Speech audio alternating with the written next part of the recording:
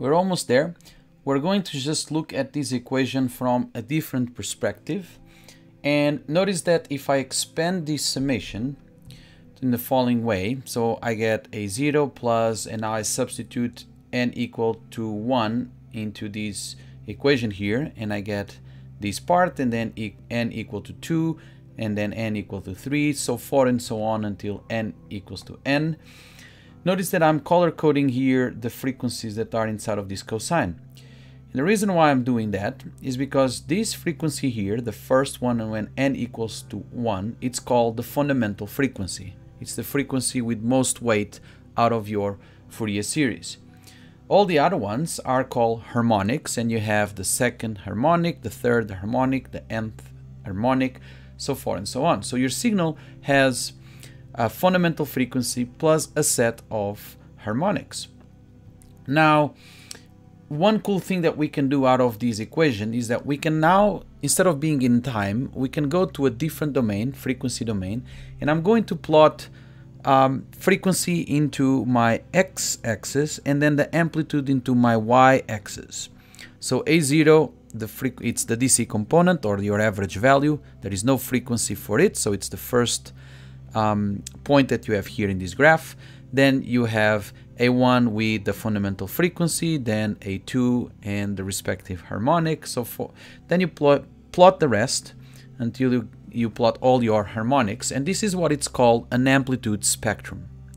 You can do a similar thing, uh, and instead of plotting in your Y the amplitude, you can do the phase, and then you have your frequency 0 with phase 1, your second harmonic with phase 2, so forth and so on, and you place all the um, frequencies with the respective phase, and you have what it's called a phase spectrum. So now we're looking at our Fourier series. Instead of in the time domain, we're looking in the frequency domain, and we have uh, what it's called the signature of your signal, that it's um, composed with amplitude and phase. So let's look at some examples. Let's pick up the waveforms that we used on the previous video and I'm just going to use a couple of them. Let's start with the sinusoidal waveform and now I'm going to plot frequencies into my x-axis and my amplitude into my y and notice that I only have one Fourier coefficient, your um, B1 with the amplitude in this case of 3 and my frequency is 200 and notice now when I change the amplitude what happens in this frequency domain you just see the fundamental frequency the amplitude of that changing now I can also change the DC component of it, which does not have any effect into your fundamental frequency and you're just shifting your wave up and down. Pretty cool. So you can also shift your fundamental frequency and you just see different frequencies here.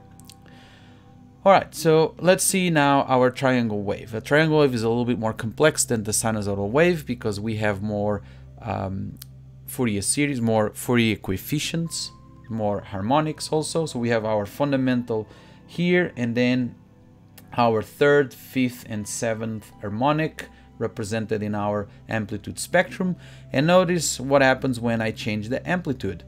When I change the amplitude, it affects all the fundamental frequency and all the harmonics, but notice that it affects more the fundamental frequency. And then if I change the DC component, does not have any effect on your fundamental frequency and respective harmonics. And I can change my fundamental frequency and if I do that, all the harmonics are going to change accordingly to that fundamental frequency. And I'm changing here the DC part so you can see that does not have any implication on the rest of the signals. And um, that's it. This is going to be very important, this visualization in the frequency domain. Uh, later on, when we apply filters to our signals, we can remove some of these um, harmonics or even the fundamental frequency, whatever uh, uh, component you want to remove.